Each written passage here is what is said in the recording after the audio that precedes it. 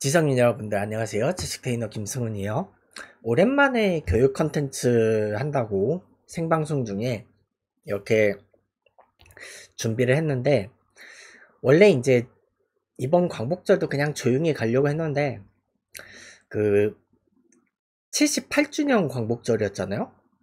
광복절 경축사에서 참 그분께서 음, 그 경축사를 좀 제대로 준비를 안 해가지고 내가 뉴스를 보다 좀 빡쳤거든요.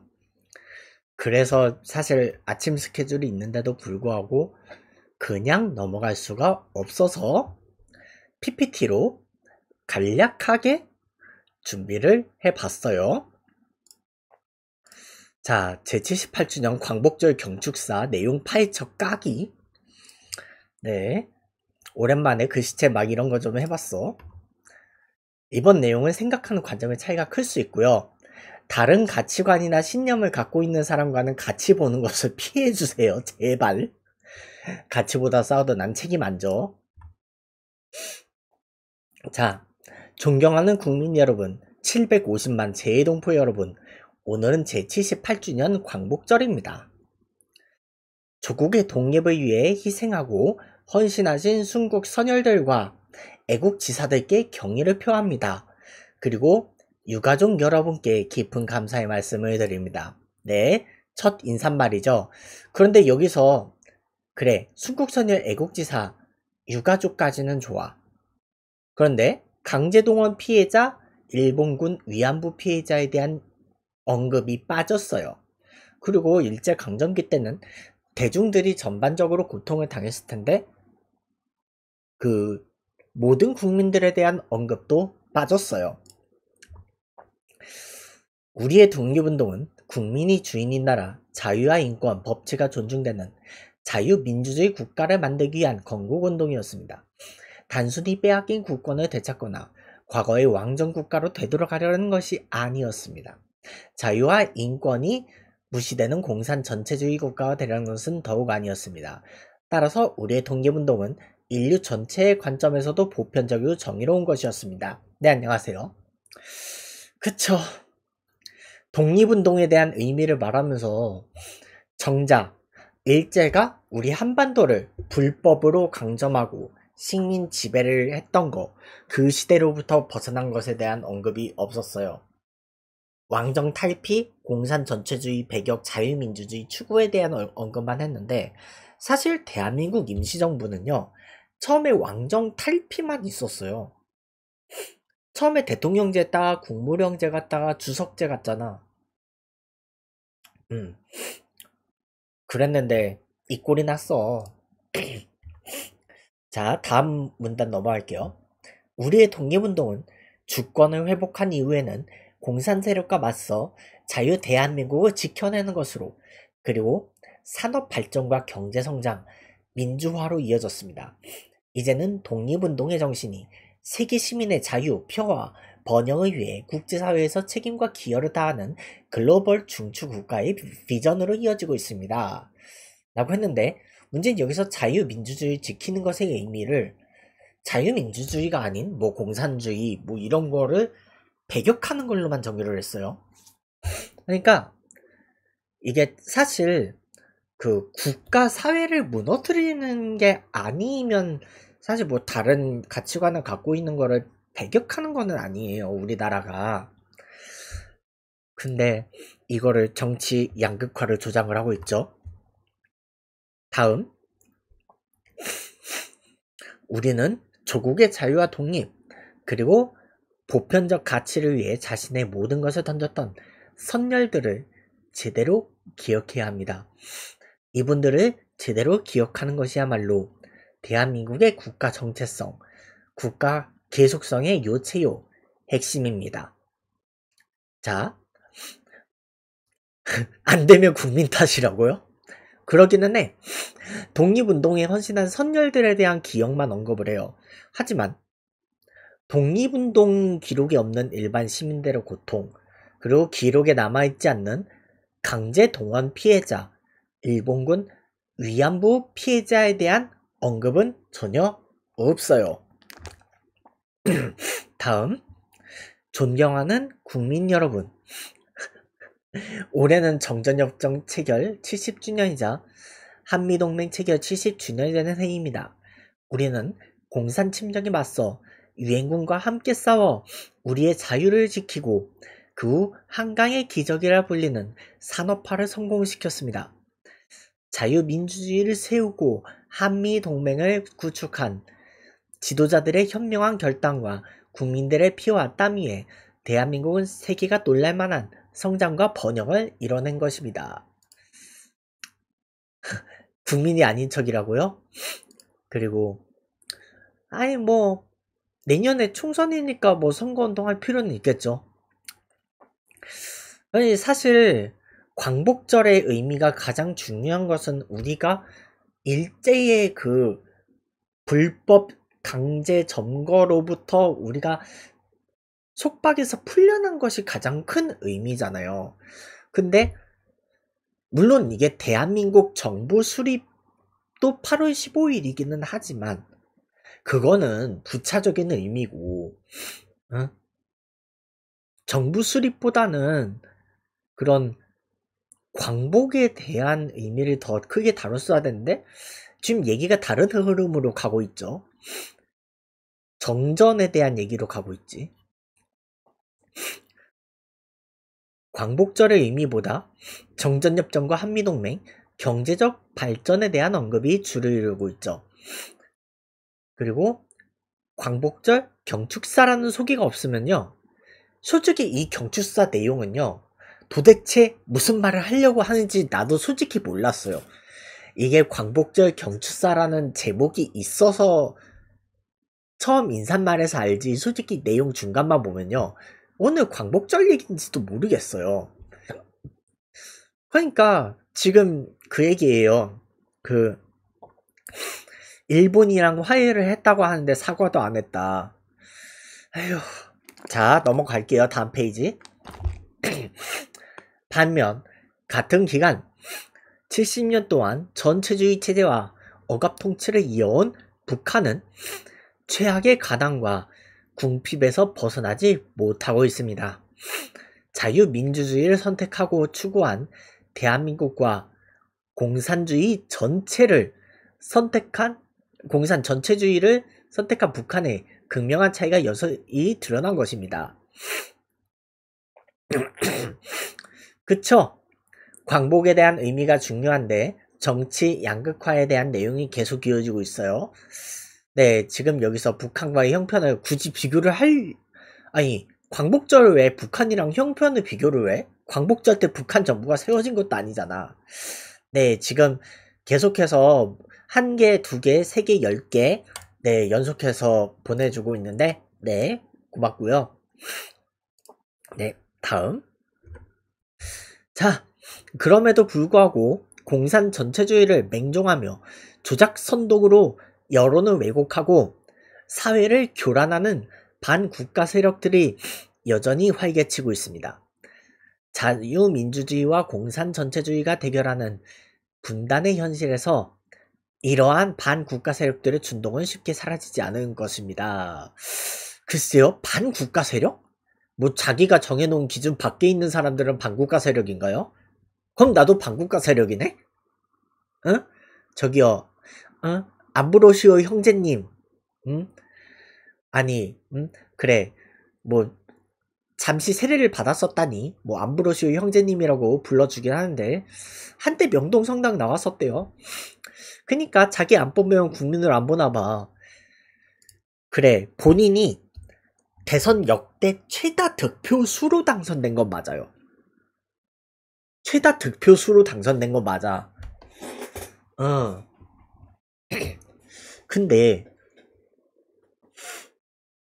그 밖에 있는 사람들이면 반국가 세력이야? 하여간 어. 자 다음 부분 전체주의 세력은 자유사회가 보장하는 법적 권리를 충분히 활용하여 자유사회를 교란시키고 공격해왔습니다. 이것이 전체주의 세력의 생존 방식입니다. 글쎄요, 이념으로 서로 공격하는 시대는 그 1990년대 소련 해체된 이후로 거의 30년도 넘었잖아. 근데 뭐 무슨 이념으로 사회 양극화를 조장하는 시대야 이거. 어? 이 양극화를 조장하는 사회에서 사회에서의 그 여러 가지 발언들이 오히려 지금 사회 교란시키는 거예요. 당신의 발언을 포함해서. 어? 당신이 그 양극화를 조장하는 사람들 중에 한 사람이라는 거를 까먹은 것 같아. 사고 나면 전정부 탓. 어, 맞아. 이번에 그 잼버리도 전정부 탓이라고 또 뭐라고 하지? 참. 응? 그래서 그 공산주의 전체 세력은 늘 민주주의 운동가, 인권운동가, 진보주의 행동가로 위장하고 허위 선동과 야비하고 패륜적인 공작을 일삼아왔습니다. 우리는 결코 이러한 공산 전체주의 세력, 그 맹종 세력, 추종, 세, 추종 세력들에게 속거나 굴복해서는 안 됩니다. 라고 했는데, 아니, 그러면 민주주의 운동가, 인권운동가, 진보주의 행동가들을 다 공산 전체주의 세력으로 다 싸잡아 버리는 거야? 이거 아주 무서운 일반화예요? 어. 아주 무서운 일반화야. 뭐 자기를 지지하지 않으면 다 야비하고 패륜적인 공작을 일삼는 사람들이에요? 아니 그러면 저기 응? 내가 야비하고 패륜적인 공작 행위를 했는지 좀 갖고 와봐. 응? 어? 국민을 통합하고 어그를 수 있어야 하는 게 대통령인데 아니 국민을 통합하고 어그를 수 있는 거 맞아요? 아니 누가 적어줬다고 해도 검수를 제대로 한 거야?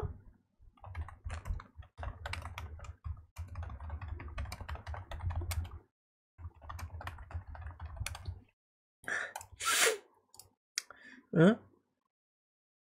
아 근데 이런 얘기 하면 뭐예요 진짜 여기 내가 취소선을 그어놨지만 이런 말 안 듣잖아 응?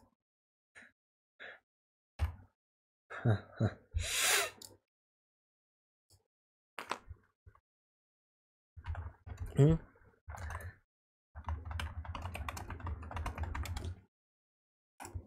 어쨌든 자 그러면 다음 부분 갈게요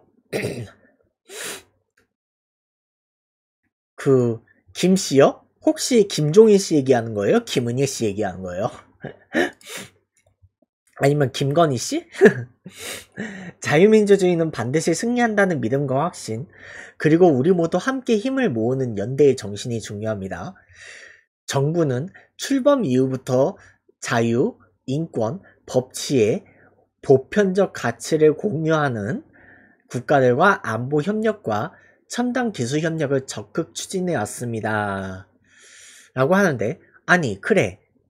함께 힘을 모으는 연대의 정신이 필요한데 이렇게 양극화를 조장하고 말하는 사람이 그 실천하지도 않을 말을 하고 앉아있죠. 어? 이거는 뭐 보편적 가치가 아니고 그냥 당신 마음에 드는 가치 같아. 어?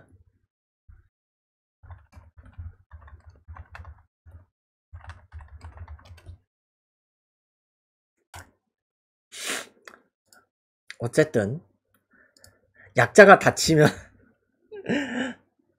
그러겠지. 자, 그, 여기서부터 이제 좀 약간 얘기가 좀 딴 데로 흘러는 것 같아요. 그,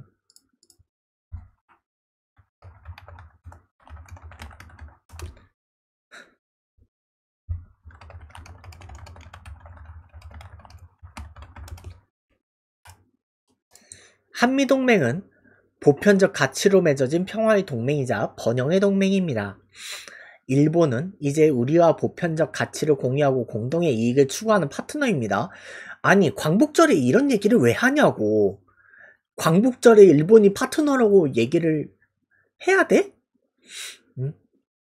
한일 양국은 안보와 경제의 협력 파트너로서 미래지향적으로 협력하고 교류해 나가면서 세계의 평화와 번영에 함께 기여할 수 있는 것입니다. 응? 아니 한반도를 불법으로 그 강제 점거하고 식민 지배했던 거에 대한 사과도 제대로 안 받고 응? 제3자 변제라는 터무니없는 방법으로 일본의 책임을 지웠어요. 응? 그래서 잘못한 나라에게서 사과도 안 받았는데 이건 뭐 응? 협력 파트너? 응? 어? 그러니까 만약에 일본이 제대로 사과를 했고 그랬으면 이 광복절이 일본이랑 화해의 날이 될 수가 있어요. 근데 제대로 일본이 책임도 안 졌는데 무슨 이지어 응? 지금 그 상황에서 파트너? 응? 응? 진짜 내가 어이가 없어서 죽겠다 진짜. 응? 아주 속 터져요.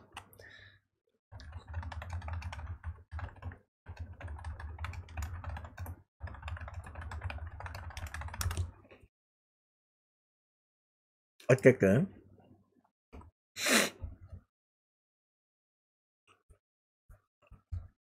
자 다음.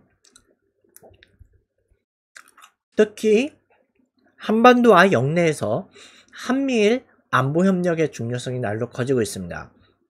북한의 핵과 미사일 위협을 원천적으로 차단하기 위해서는 한미일 3국 간의 긴밀한 정찰자산 협력과 북핵 미사일 정보의 실시간 공유가 이뤄져야 합니다. 일본이 유엔 사령부에 제공하는 7곳 후방기지 역할은 북한의 남침을 차단하는 최대 억제 요인입니다. 아니 평화적인 얘기를 해야 되는 광복절에 무슨 뭐 전쟁 준비하는 것 같은 연설을 하고 있어요. 응? 북한의 위협을 원천적으로 차단해야 된다. 응? 뭐 이거는 국군의 날에 해야 되는 얘기 아니야? 어? 광복절에 국군의 날 경축사를 하고 있는 것 같아요. 진짜 이거 광복절 경축사라고 얘기 안 해주면 진짜 이거 국군의 날 기념식인 줄 알겠다니까요. 응?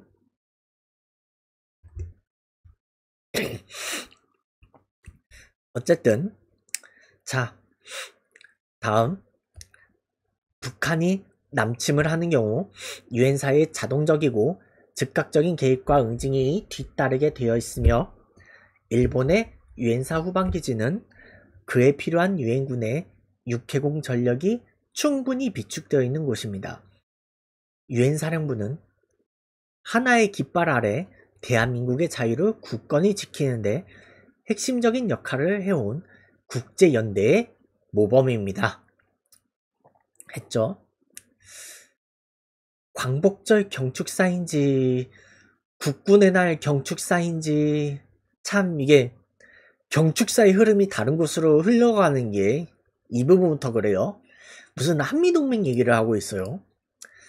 그 유승민 전 의원도 이거는 아주 지적을 잘하더라. 자, 다음. 사흘 뒤 캠프 데이비드에서 개최될 한미일 정상회의는 한반도와 인도 태평양 지역의 평화와 번영에 기여할 삼국 공조의 새로운 이정표가 될 것입니다. 여기서 말하는 캠프 데이비드는 송탄이에요. 송탄의 미군 기지예요. 아니, 저기 아저씨. 광복절인데 왜 계속 군대 얘기할 거야? 어? 자, 한반도와 인도태평양 지역의 안보는 대서양, 유럽 지역의 안보와도 깊이 관련돼 있습니다. 따라서 나토와의 협력 강화 역시 매우 중요합니다. 대한민국의 안보는 인도, 태평양 지역의 안보, 대서양과 유럽의 안보, 글로벌 안보와 같은 축전, 숙선 상해놓였습니다. 아니 자꾸 광복절 주제에서 벗어난 얘기 할 거냐고 진짜 이 사람 진짜 응? 지금 여기 채운 것도 내가 진짜 귀찮아서 이거 취소선 부분 써놓은 거예요. 다음 대한민국이 국제사회에서 전방위적으로 책임 외교와 기여 외교를 수행하는 것은 세계의 자유, 평화, 번영에 기여하는 동시에 바로 대한민국의 자유, 평화, 번영을 구축하는 길입니다. 정부가 공적 개발 원조, 국제 개발 협력, 우크라이나의 자유와 평화를 위한 지원에 재정을 투입하고 힘을 쏟는 것은 궁극적으로 대한민국의 자유, 평화, 번영을 위한 것입니다. 아니 지금 우리나라도 먹고 사는 거 고달파 죽겠는데 다른 나라 전쟁에 대놓고 쏟아부는 게 이게 뭐 응? 자기 자랑, 자랑할 얘기예요? 음.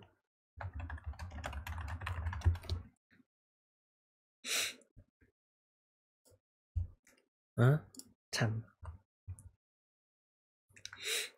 정부는 또한 담대한 구상을 흔들림 없이 가동해 압도적 힘으로 평화를 구축함과 동시에 북한 정권이 핵과 미사일이 아닌 대화와 협력의 길로 나와 북한 주민의 민생을 증진시킬 수 있도록 국제사회와 공조해 나갈 것입니다. 라고 하는데요. 아니 진짜 자기 생각만 못하고 생각하는 사람이 압도적인 힘을 좋아하는 사람이 얼마나 있겠어요?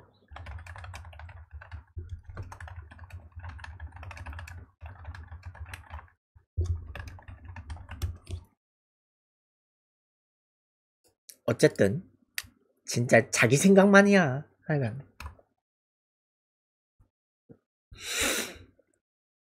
자, 존경하는 국민 여러분, 다시 환기를 시키죠.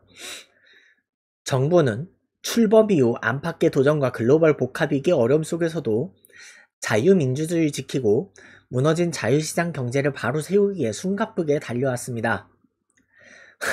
아니 숨가쁘게 달려왔다고 치자. 아니 근데 왜 점점 더 멀어지는 것 같죠? 점점 더 멀어져 간다. 아니 국민들을 존경하는 건 맞아요? 어? 하여간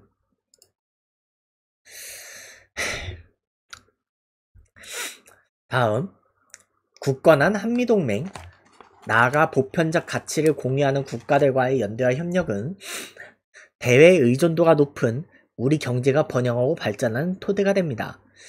생사가 걸린 안보에서 협력하는 관계는 먹고 사는 문제가 걸린 경제와 첨단 과학기술 분야에서도 긴밀히 협력할 수밖에 없는 것입니다. 그래, 이거는 맞는 말이긴 한, 하, 해요. 그래, 맞는 말이다 치자. 아 근데 앞에서 다 망쳐놔가지고, 지금 나 이 부분 여기 PPT 쓰면서요. 진짜 여기까지 오니까 공감해주는 것도 힘들어 죽겠더라고요. 기 빨렸어요. INFP라서. 응? 그래.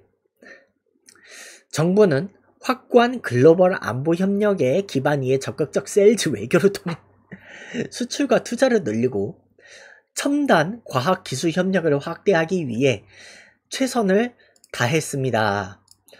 최선을 다하겠습니다가 아니고 최선을 다했습니다요? 그럼 앞으로는 최선을 다하지 않겠다는 건가요?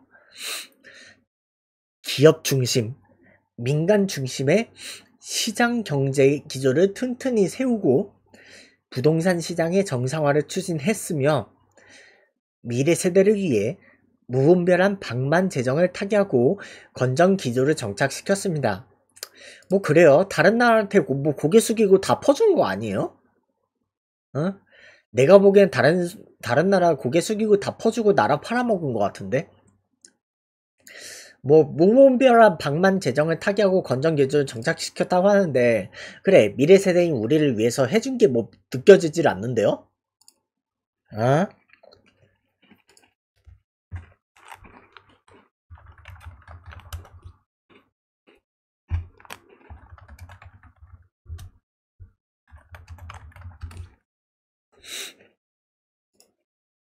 어쨌든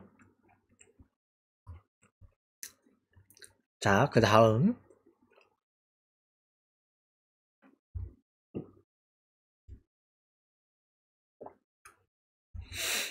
자, 그리고 사회적 약자와 취약 계층에 대한 배려와 지원을 국가의 핵심적인 사회 정책으로 채택하여 정치 복지에서 약자 복지로 재정 지출 기조를 과감하게 전환했습니다.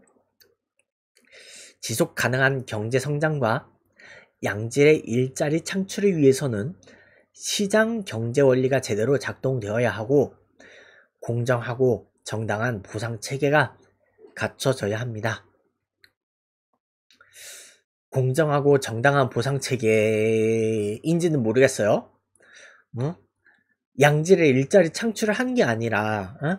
필요한 곳에 인력을 줄이고 있는 것 같다는데요. 내가 바, 다른 데서 봐도 진짜 필요한 곳에 대한 인력을 줄이고 있더라고요. 그리고 응? 사회적 약자를 우러러 나오는 마음으로 배려를 한 적이 있는지는 내가 모르겠어요. 어? 잠깐만.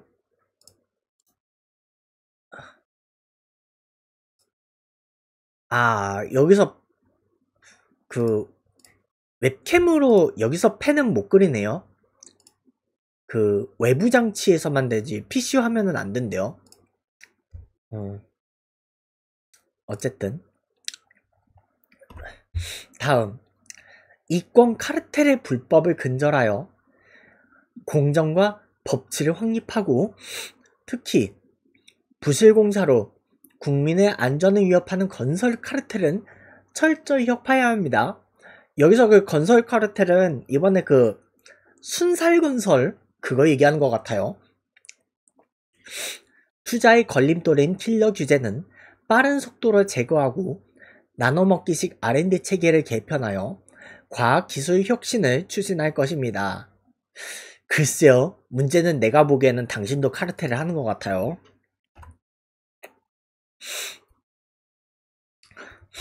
과학 기술 경쟁력의 핵심은 바로 사람입니다.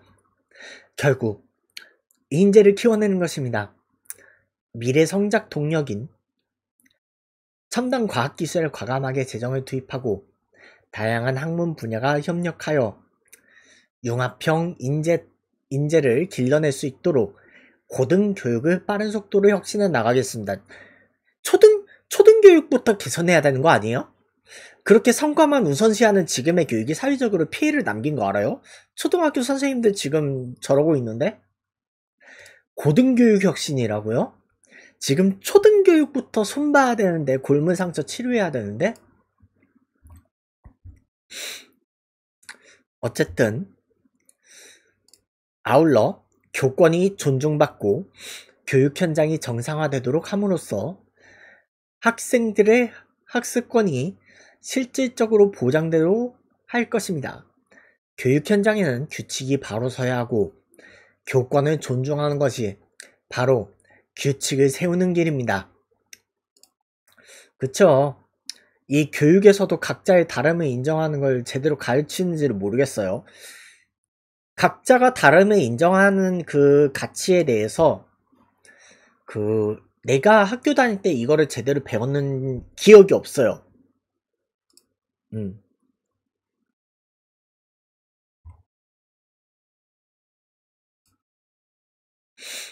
그리고 국민 여러분, 우리는 자신의 당대의 국권을 회복할 가능성이 희박한 암흑의 시기에도 국민이 주인이 되는 나라, 자유민주주의 국가의 꿈을 포기하지 않았습니다. 자유를 찾아 출발한 대한민국의 여정은 지금 우리에게 자유와 독립뿐만 아니라 평화와 번영을 가져다 줬습니다. 예? 자유와 평화 번영? 지금 이 상황이 평화롭다고 생각해요? 당신은? 당신만의 생각인 것 같아. 음, 우리는 이제 세계 시민의 자유, 평화, 번영에 책임있게 기여해야 하는 역사적 숙명을 기꺼이 받아들여야 합니다. 이를 위해 우리가 오래전 자유를 찾아 출발한 여정은 앞으로도 멈추지 않고 계속 되어야 할 것입니다. 아휴, 아니, 과거 역사에서의 과오에 대해서 제대로 짚고 넘어가지도 않는데 역사적 숙명을 제대로 받아들일 수나 있어요? 어? 역사를 잃은, 잊은 민족한테 미래가 없다고, 응? 안중근 토마스 장군이 이야기를 했는데 아휴 이제 우리의 여정은 과거와 달리 외롭지 않습니다. 전 세계 많은 친구들이 우리와 함께하고 우리를 응원하고 있습니다. 자유를 찾아 고난과 영광을 함께한 대한민국 국민 여러분이 모두 자랑스럽습니다. 감사합니다. 라고 하는데요. 아니, 해외 나가서 인증샷 같이 찍은 게 그게 친구야? 어? 아주 그, 아니, 그 사진들 보면요. 그, 인증샷 그 같이 찍은 거? 그걸 아주 대놓고 자랑하고 앉아 있어요. 자, 그러면 이제 평가를 좀 해볼게요. 자, 일제 강점기의 고통에 신음했던 일반 시민들, 강제 동원 피해를 입었던 사람들, 그리고 일본군 위안부에 동원되어 피해를 입었던 사람들에 대해서 위로가 없었어요. 그리고 음, 보편적 가치와 자유민주주의 인권을 얻기 위해 이 수많은 사람들의 희생이 있었는데 자유로운 인권을 위해서 힘쓰는 사람들이 자신과 생각이 다르다는 이유로 그러니까 다른 정당 쪽에서 그 성향인 사람들 많다고 반 국가 세력을 싸잡아 묶어버리는 거예요. 응? 그리고 과거사에 대한 일본의 책임을 면해주기 위해서 제3자 변제라는 말도 안 되는 방법을 사용했어요. 물론 사실 이 제3자 변제는 박근혜 씨 때도 난리가 났었거든요. 그때 그 박근혜 씨 때도 그 2014년 그 연, 2015년 연말에 아주 난리 났었어요. 그래서 이 법치를 지향하고 있는 게 맞아요? 응? 하여간 광복절에 음? 가장 먼저 가장 중요하게 기억해야 하는 의미를 언급하지도 않았어요. 응? 그래서 당신이 정해놓은 기준에서 벗어난 사람들 다 그냥 바, 반국가 세력인 거야. 응? 응? 이 사람은 그 모든 국민의 대통령이 돼야 되는데, 응? 아주 그 사회 양극화만 조장하고 앉아 있어요. 그래서 맞는 내용의 얘기도 응? 거친 말투로 그렇게 연설을 하면 응? 듣기 불편해요 그 말투가 그 여러분들 그 유튜브 가면 그 광복절 경축사 아마 그 연설 영상 있을 거예요 내가 그 굳이 여기서 다시 들려주고 싶지는 않거든 응? 하여간 생각이 다른 사람들의 말을 듣고 대화하려는 시도도 안 하고, 응?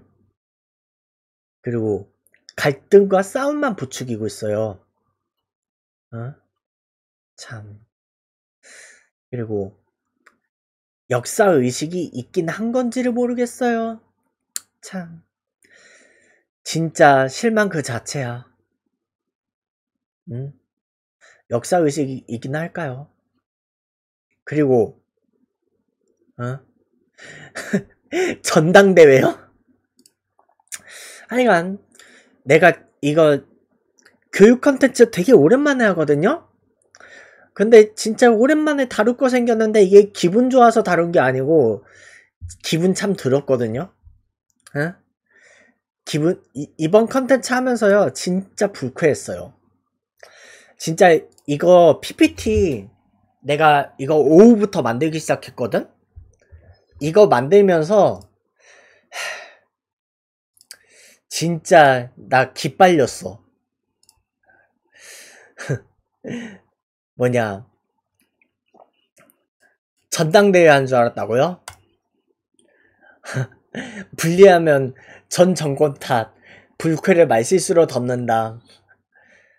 음 하여간 뭐 그래가지고 하여간 아휴 그냥 그래 내가 여기서 말 더 길게 해봤자 뭐 하겠어요 어차피 그 사람은 이거 다 응? 한30몇 분짜리 영상 다 풀로 보지도 않을 텐데 응? 그냥 제목 키워드 이런 것만 보고 그냥 다 차단 박아버리겠지 응? 하여간 아시안 게임이요? 우리나라가 개최하는 것도 아니잖아. 근데 뭐 입 엄청 턴다고 얘기해. 하여간. 에휴. 에휴. 지금 우리 중국이 반납했던 그 아시안컵 개최권도 우리 제대로 못 챙겼잖아. 아휴 더. 아니 지금 어민만 그런 게 아니에요. 음? 그, 그 어민만 그런 게 아니고 지금 우리나라 국민들 다 지금 힘들어 뒤질라 그래 음? 지금 자살률 세계 1위, 응? OECD 가입국 중에 청년 자살률 1위, 이거 진짜 어떻게 할 거냐고, 응? 아유, 진짜 그, 이번에 진짜, 그, 순살건설 진짜 어떻게 할 거야? 응? 아휴, 그래. 더 얘기는 안 할게요. 에휴. 댓글은 어차피 내가 다 검토할 거니까 그 알아서들 잘 댓글 달기를 바랄게요.